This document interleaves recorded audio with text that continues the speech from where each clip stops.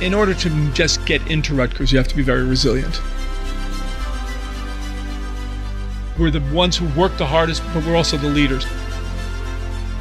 The whole story about, you know, our, we, we wanted to be orange, but we settled for red because Princeton already was orange. No, no. We're not Princeton's little sister or little brother.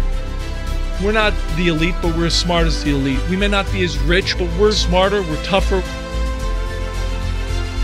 Because we have to fight every single day for everything that we get. This is the people's Ivy.